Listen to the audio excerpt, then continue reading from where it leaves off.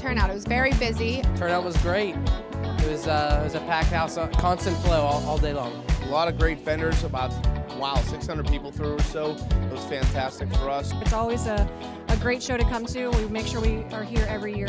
At least in our case, it translated into some bookings on the spot here today. So uh, very, po- very positive experience for us. So much fun. We loved it. We really enjoyed the fashion show. It was really good time. The show was fantastic. I thought it was a great turnout.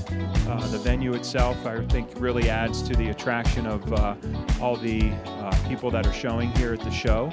And I think you couldn't ask for a better day. This venue in particular brings out the right kind of bride that's ready to book. It's been a very positive experience. I would say uh, great for uh, our wedding business, and uh, we'll be certain to be back next year. Yes, we would absolutely do the show again. But we'll definitely be back next year for the LeMont show.